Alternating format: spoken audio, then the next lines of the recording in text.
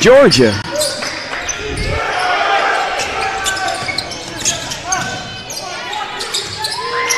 Feather River won the tip. Up on the out of bounds play. Good execution. And then they're going to hand it off. He's going to drive to the middle. It's a pretty effective play. Oh, nice pass.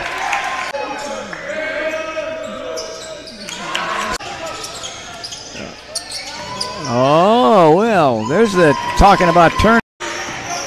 Showing his seven, a steal from behind. Oh, I thought. Back pick.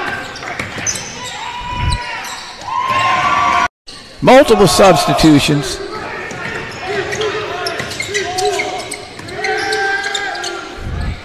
Oh, he makes it with.